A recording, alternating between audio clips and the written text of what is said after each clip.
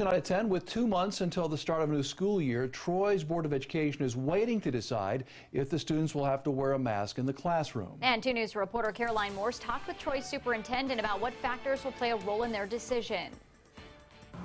I spoke with Superintendent Piper today, who says it's too early to decide if masks will be worn in this fall semester.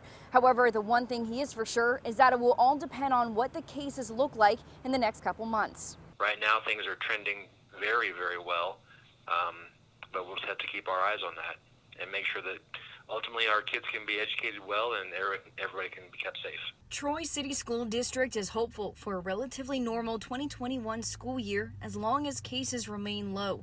The coronavirus dashboard shows over 38% of Miami County has received at least one dose of a vaccine, which one parent says makes him feel better about continuing in person learning in the fall. Numbers rise up, then we can go back to masks just like we did last year.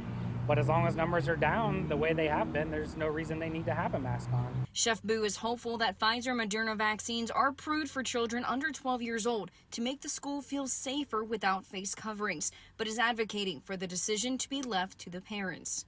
Pro choice with the parents, let the parents decide. Troy is very fortunate enough that a lot of the smaller schools are able to do a little bit of social distancing. Uh, the numbers have been down. Uh, governor's released most restrictions, and uh, the only restrictions I know of are in the hospitals and in um, nursing homes. So, yeah, let it be the parents' choice. Miami County was the first county in the Miami Valley to return to yellow public emergency level one, the lowest level possible. Now, Superintendent Piper says he will make a call on mask regulations as we get closer to the fall semester. In Troy, I'm Caroline Morse, 2 News working for you.